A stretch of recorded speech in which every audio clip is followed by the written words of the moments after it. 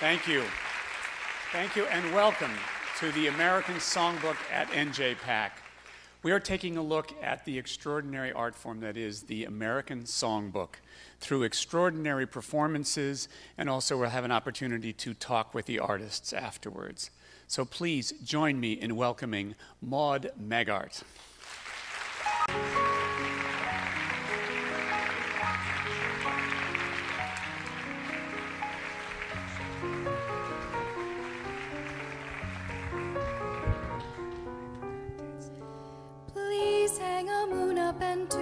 Cellos, for here come the dreamers. Tell all the fellows to varnish their trumpets, butter the crumpets, and garnish the cellos. Let us get to it and do it upright. Welcome the dreamers with all of our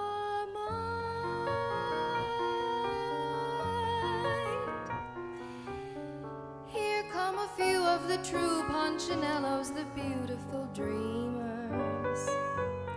Here comes a clown in a motley of yellows, made from a gown of Dolores Costello's, giddy and gaudy and bawdy and bright. Here come the dreamers to light up the night.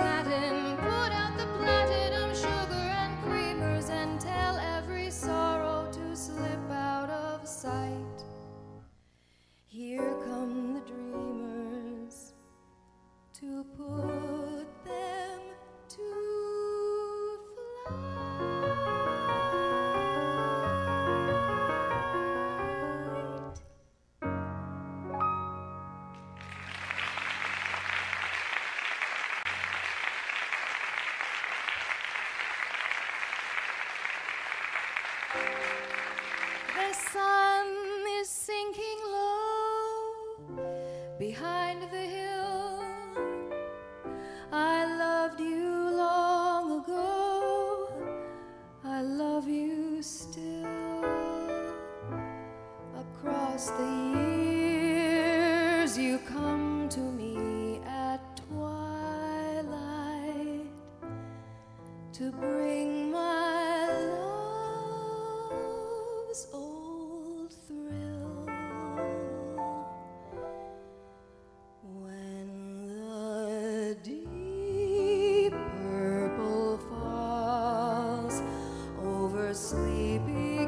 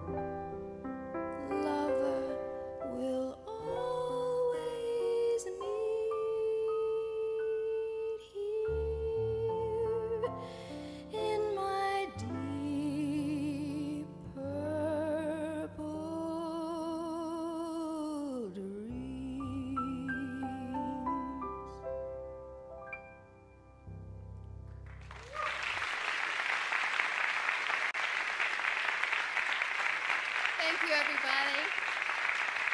This is my musical director, John Boswell.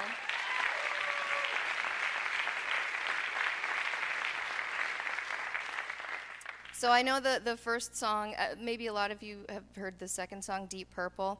It's uh, Mitchell Parish and Peter DeRose. It always sounds like um, Skylark or Stardust, more like to me. You know, Mitchell Parish is the same lyricist, um, but uh, different composers. Hoagy Carmichael was the other one.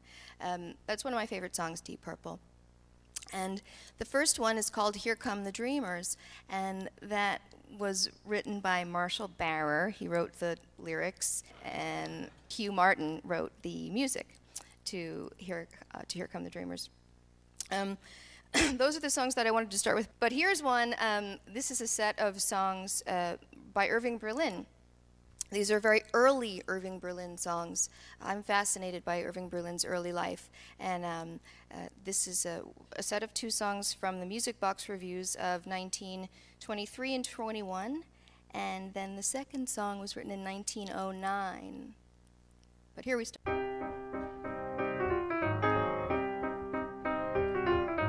Oh, I got a message from below. Twas from a man I used to know Oh, about a year or so ago before he departed. He's just as happy as can be. I'll tell you what he said to me. He said, If ever you get heavy hearted, pack up your sins and go to the devil in Hades. You'll meet the finest of gentlemen and the finest of ladies. They'd rather be down below than up above. Hades is full of thousands of Joneses and Browns, O'Houlihan's, Cohens, and Brady's. You'll hear a heavenly tune that went to the devil because the jazz band they started picking it, then put a trick in it, a jazzy kick in it.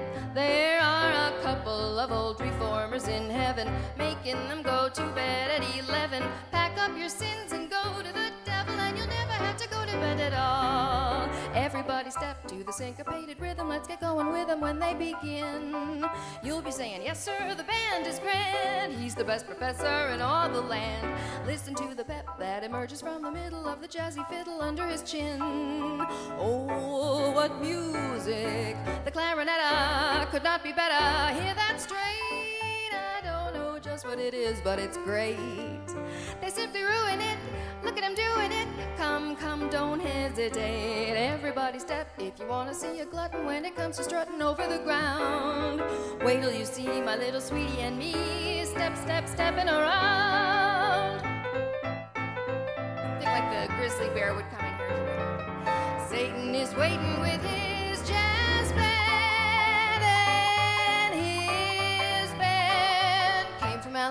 with a melody hot.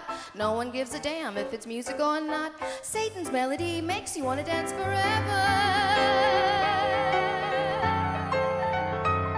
And you'll never have to go to bed at all.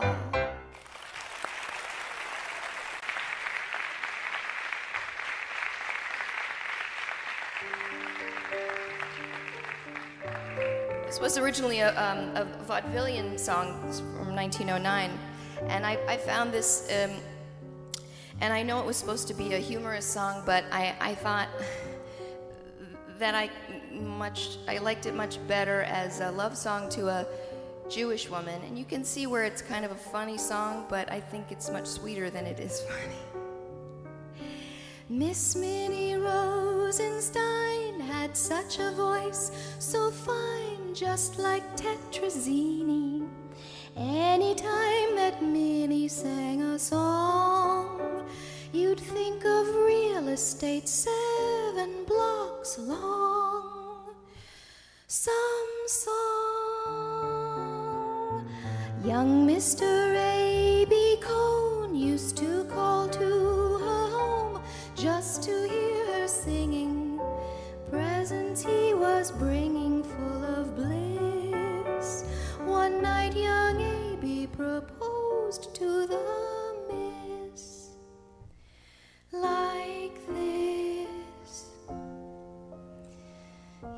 Nightingale, sing me a song. Your voice has got such sweetness that it makes me strong. Yiddish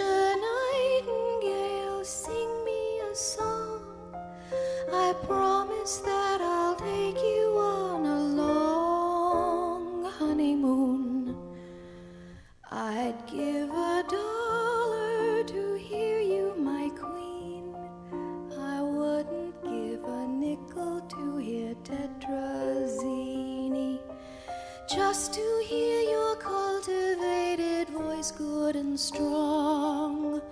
I'd serve a year in jail, Yiddisha nightingale. Won't you sing me a song? Then said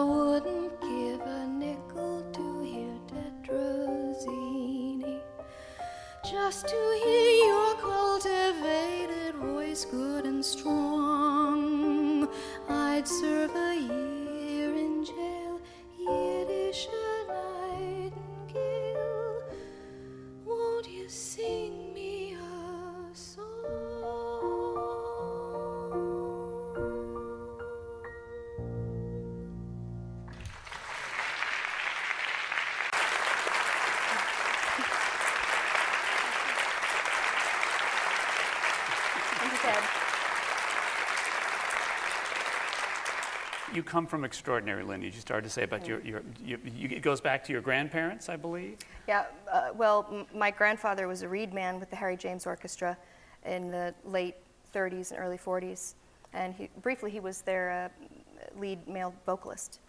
And, and uh, my grandmother started out at age 15 as a dancer in the George White Scandals on Broadway, and then later she became the girl singer for the Johnny Hamp Band, which is where she met my grandfather because he was playing with Johnny Hamp before he joined Harry James. And then your parents met doing applause, which always seems to me kind of Yeah. odd. Applause is not a musical you would think of that would lead to this kind of depth of, of performance. Sorry, but I feel that way. No, but that is what. Well, right. Uh, well, you know, the union itself didn't lead to much else, Right. you know, but it ended after a short time. Uh, yeah, my father played uh, Buzz the playwright, and my mom was the original Eve Harrington right. before Penny Fuller. and so they kind of fell in love, and then she was replaced by Penny Fuller before they came to Broadway when they were doing Out of Town. But So- that's how they met. So with all of that, what, what was the music around the house? A little bit of everything? Oh yeah, a little bit of everything. I I knew the score to South Pacific when I was very little because my father was in the show. He played what is it, Luther Billis. yes. Yes. Right. Yeah, so he did that. Uh, yeah, the the music around the house was. I mean, honestly, it, both my parents loved Barbra Streisand, so it was a lot of that. So, you know, I, I grew up singing those songs and. and uh, But, but you, you bring an acting truthfulness to these songs that is pretty extraordinary. It's like weaving a spell. You know, back there looking at you at the monitors, it was like we were all like totally captivated. Where did that come from? Acting? Did you want to be an actor? No, not at all. Um, no, my parents were actors. I didn't want to do that. Right. so, like, Uh, well, I think that there is, like my mentor Andrea Marcovicci says, each song is like a little play. And when you get those wonderful nuggets of, you know, the best songs that, that you and I love, songs from the American Songbook, um, they are. They're like little, little plays. There's so much depth there and so much to, so much really to dig in to as a, as a singer because you can go all sorts of ways in your interpretation. Yeah, but that's, I'm saying that, that it sort of takes an acting singer to take Yiddisha Nightingale, for example, and turn it into that amazing sort of song of that that's not a not a joke, as you say. Well, I only saw the lyrics in um, uh, Bob Kimball's book in the Right. complete lyrics, and I and I thought these are great lyrics, and I didn't know what it. I had never heard a recording or anything, so I just you know found what it sounded like, the sheet music, and I just thought, oh, I'd like to make it sound like this. Kind of like when people are teaching themselves how to play the piano and they don't know what a song sounds like, so you hear all these different versions of, uh, you know, uh, over the rainbow or something. Somebody might just look at the sheet music and play it in a completely different way from what it's traditionally heard as. Well, that, that, that's not easy to do, and, and you, you do it extremely well. You said uh, Andrea Marcovicci is a, is, a, is a mentor of yours? Oh yeah, yeah. They were both friends with Marshall Barer, so really I owe a lot to, to Marshall Barer for as much as I make fun of him, but he really was was great. Yes, Andrea was was a mentor of mine.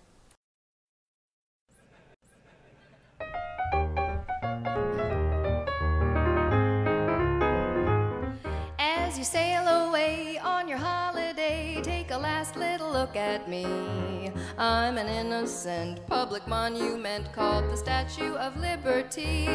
And I'm a slave in the home of the brave and the land of the free. Now, once my country, France, had a Yank romance, so they gave me to Uncle Sam. But he treats me so, I no longer know what I'm meant for or who I am. He's made a mess of my chance of success, and I'm not worth a damn. Liberty blues, those lost liberty blues, with a pair of handcuffs on my wrists and padlocks on my shoes. Can you expect me to be gay or ask me to enthuse while reformers lead 'em from the battle cry of freedom to the lost liberty? Liberty blues.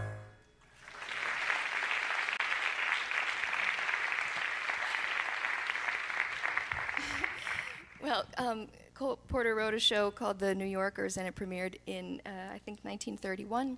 And uh, this song was one of the songs that uh, that was uh, premiered in, in the show, which is uh, one of my favorites. And it's kind of another interpretation that I have, kind of like Yiddish Nightingale. I always saw this as kind of a, a, a sadder song. You can tell what I, you know, what I think about. It's, it's the direction I go in. When the only sound in the empty street is the heavy tread of the heavy feet that belong to a lonesome cop. I open shop when the moon so long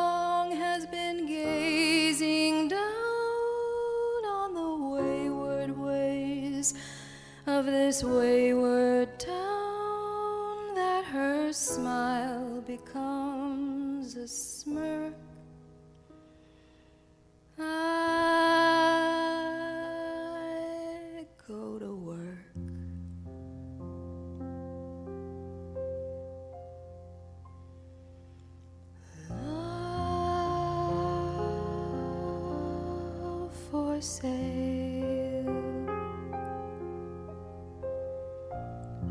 Appetizing young love for sale. Love that's fresh and still unspoiled. Love that's only slightly soiled. Love for sale.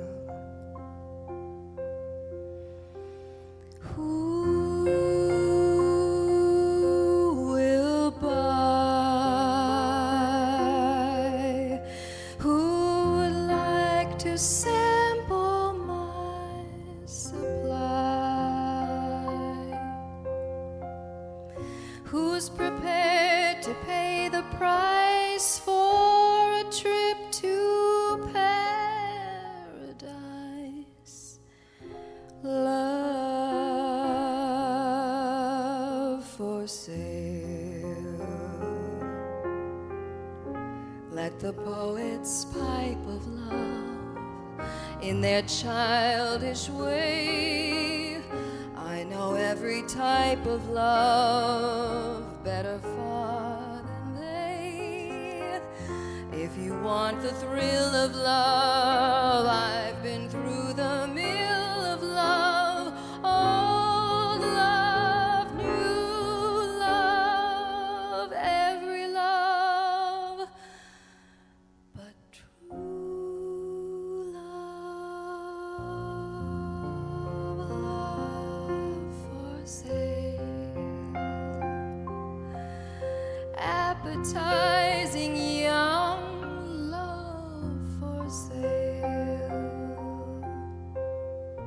If you want to buy my wares,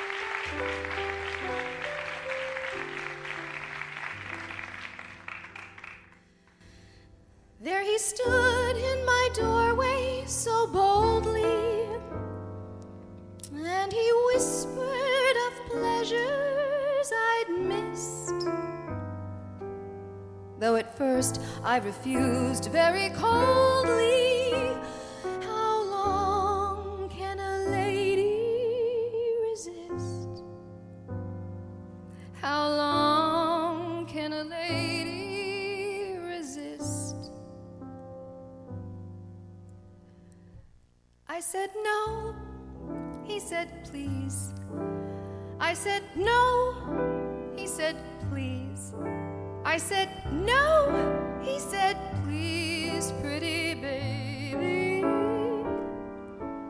I said no. He said why? I said no. He said why? I said no. He said try. I said maybe. He said now. I said well. He said ah, this is swell, and you'll never know how much it will So at last, I confess, I said yes, yes, yes, yes, yes. That's how I subscribed to Liberty Magazine.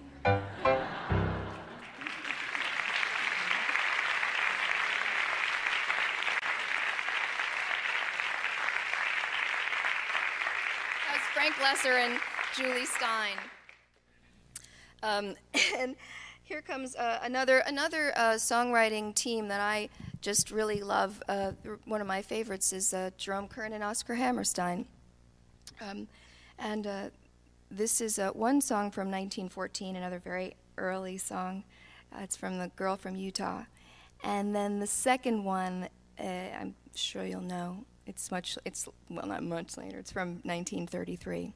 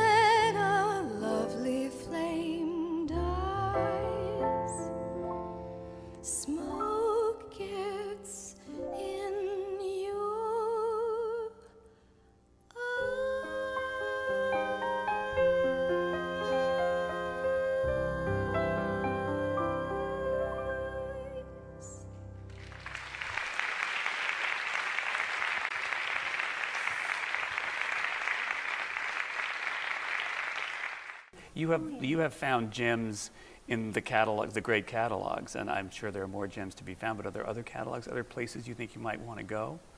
You know, everywhere. I'm just, I'm a music lover. So, I mean, yeah, sure. I'd like to learn traditional songs from other countries, see what their, you know, traditions are like. But, uh, yeah, and there's so much that I don't know about the American Songbook still. So I'm really fascinated by that. And, and what guides you in the choices? Is it just instinct, or do you feel I want to tell this story that goes here, or is it just sort of oh that's a ballad, let me follow it with a funny song, or Well, it's it's things like that, sure. I mean, um, you know, I have to respect you and entertain you. I might think something's really interesting, but maybe you know you won't. So, and that mostly depends on how I do it myself too. You know, like how I perform it. Uh, but yeah, sure. I uh, well, I like to mix up different songwriters and and really make a sort of a flow, as you said, in terms of like here's a ballad and then here's something like well, taking the audience on a journey, but taking care of them at the same time. You know, like opening up emotion so that you feel vulnerable, uh, but I'll take care of you.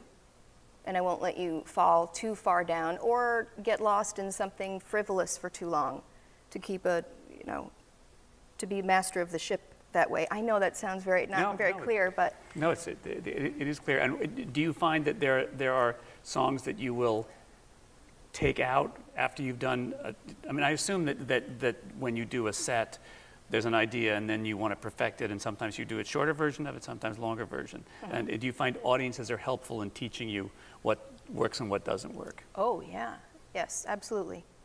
So- Sure. Well, that that goes with uh, you know I have to respect the audience, and so I might think it's good, but it doesn't really work. Yeah.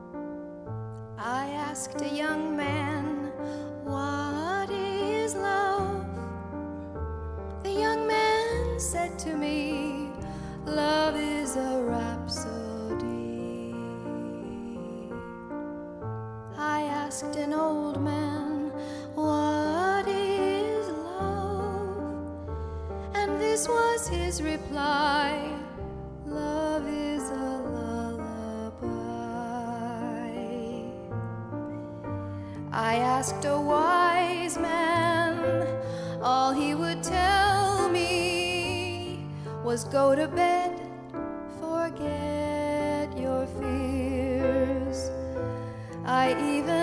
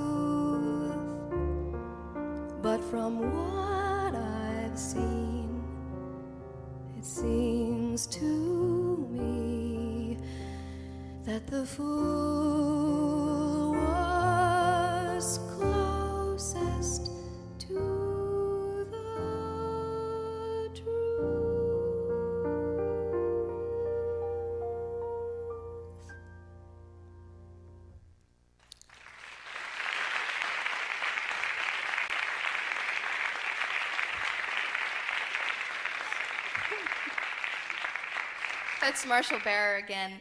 Um, Marshall Barer, who, who uh, I think that's maybe his, his loveliest song that he wrote. He wrote What Is Love, that song with David Ross. Um, and um, there was another Mary that Marshall liked to write with, good songwriting partner, and that was Mary Jane. He liked to write with uh, Mary Jane. he- he, he may have written this one with the help of that sweet girl. This is uh, lyrics um, based on the uh, story of Alice, Alice in Wonderland. And Marshall's songwriting collaborator in this case was actually not a collaborator. It was it's an already finished track of Antonio Carlos Jobim's one of his most beautiful compositions, Antigua. So Marshall wrote lyrics about the story of Alice in Wonderland to the flute sol- solo, the flute solo in Antigua. It's a horrible thing to do to a singer. But he and Mary Jane and Antonio, Carlos Jobim made this little gem.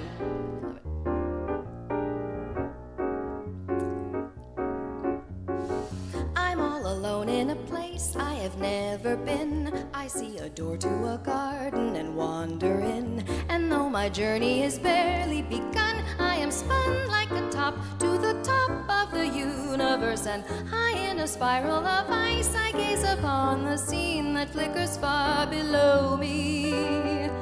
And what I see is a crinkle of colors and sound. Colors and sound. Crystal and I can see sparkles of mist on the spangles. And I can feel tingles of tangles and sprinklings of angles and inklings of angels around. A rabbit crosses my path unexpectedly. I hear a sigh of despair as he passes me. I have a feeling that Rabbit is late for wherever he's going, whatever he's headed for is my destination. Oh, show me the way to stay here in this world because here's where the right things happen. Oh, baby, here's where the good things are.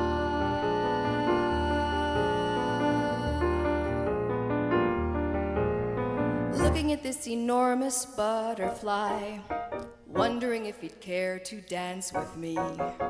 Delicate as a flower carved of chrysoprase, idly I ponder how far have I yet to find it. I've got to find it and act as if I've lost it, otherwise I'm lost in wonderland. I've got to find it, or else I am bound to the empty ground, bleak and vast, where dark spells are cast,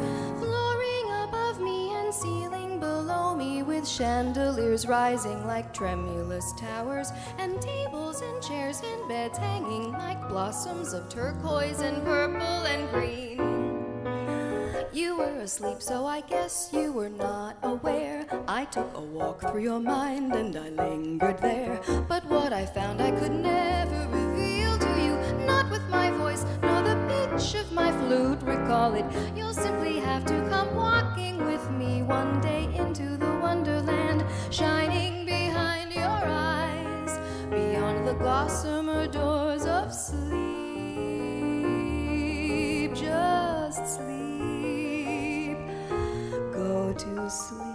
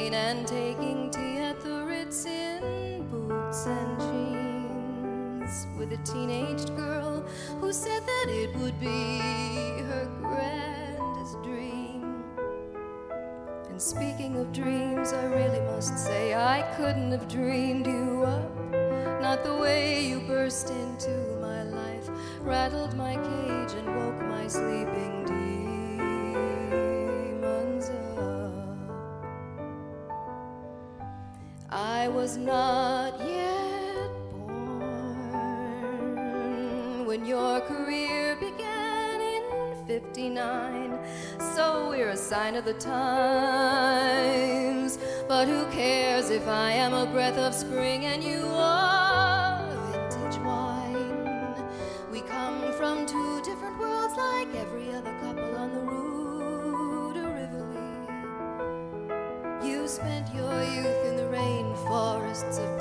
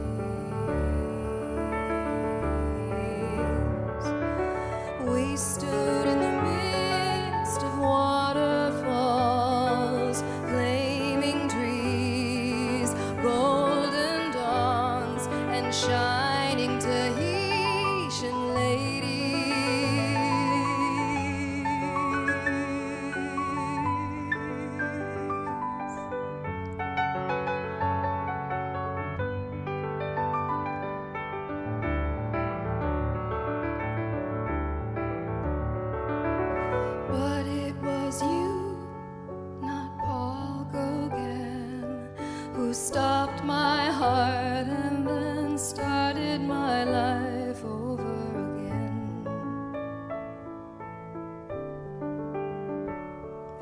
And if you feel as I do, we've erased the lines between reality and all our painted dreams. Oh, take me down where the gypsies sing the songs their mothers knew.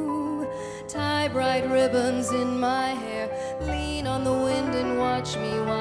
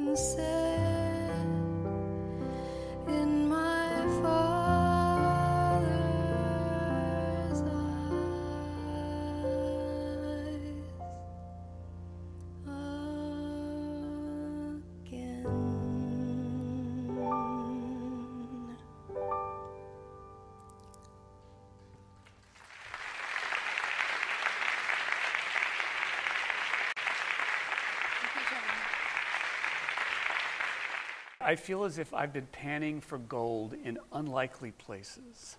Such extraordinary nuggets of both known and unknown songs. How did you ever find that extraordinary collection of songs to do so beautifully? Well, Marshall Barer, because a big chunk of what I did is a lot of Marshall Barer tunes, he was actually a, a friend of my father's. Uh, so I knew him personally growing up. So I did have a lot of access to his, um, you know, sort of trunk songs, the you know lesser known material. And Michael Feinstein was a, a mentor of mine, and so of course you know, he has the Marshall Bar- Barer catalog. So I was exposed to a lot of that. and, and my grandmother and grandfather were both part of the big band era with the Harry James Orchestra, and so that's where the you know the big band era songs come from.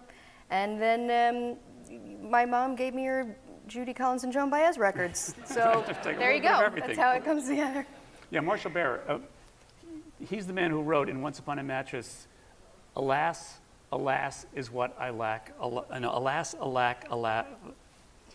Look at it, it's an extraordinary lyric. It's as good as, Yeah. it's as good as anything Stephen Sondheim was writing at that time. And, and it was really, you know, because he was, Marshall would be the first one to tell you that. yeah, I'm sure.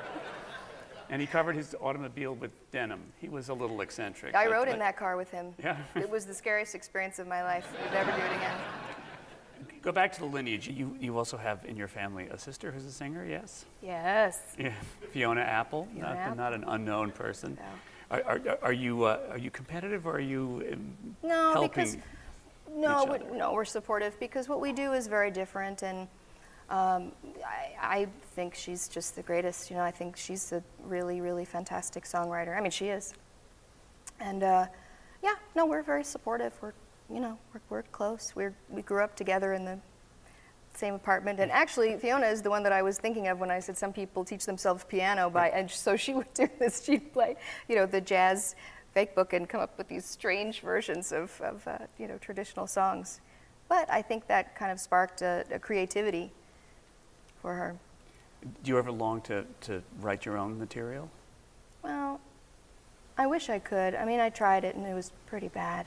So, I mean, what are you going to do when your the bulk of your material is like Cole Porter? How are you going to follow that? You know, it's really hard. So, And so, so what's next on the on the Maude Maggart? well, um, what's next is um, I think. Uh, well, I have to find a new cabaret home in New York because these places keep closing. Um, yeah, I'm but I'm making. Oh, I'm recording a, a new album. Oh, good. I'm I'm told that Michael Feinstein is going to open a Feinstein somewhere, but he won't tell anybody where. Uh, right here in yeah. He hasn't told. What is that? Are you asking me if I have No, some no, inside no. information? I don't. I really don't. I don't know. Have you done 54 Below? No, but I've been there, and that's a beautiful Yeah, place. It's a good. I mean, it's it's, it's certainly a, a, a place that supports cabaret, and we hope we can support it so it can Yeah. it can ha- have a good have a good long future. yeah. Well, that's great. Well, listen, thank you very much. This has been wonderful. Thanks so much for being part of this. Thank, Thank you. Thanks for talking to me. You're an expert on all this. so honored.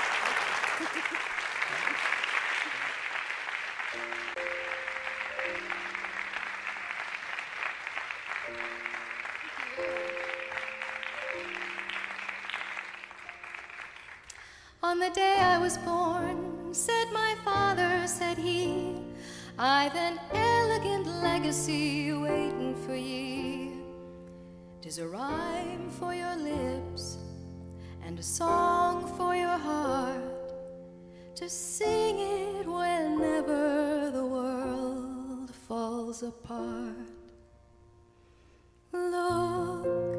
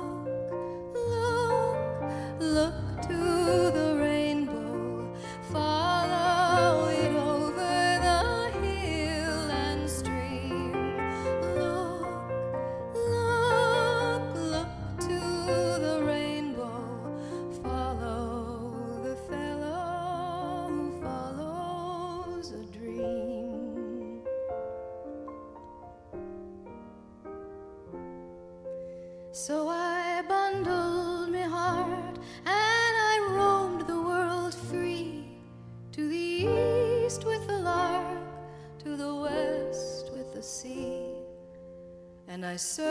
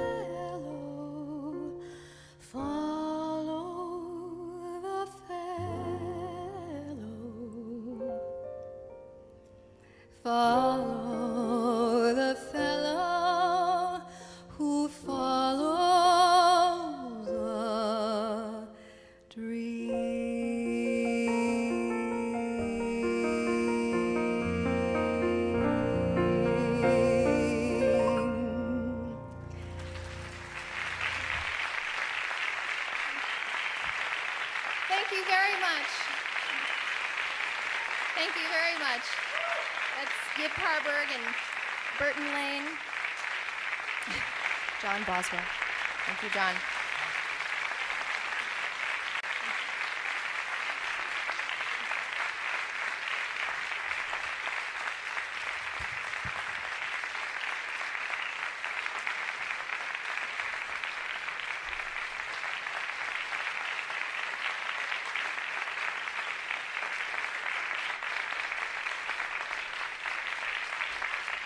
Funding for this program.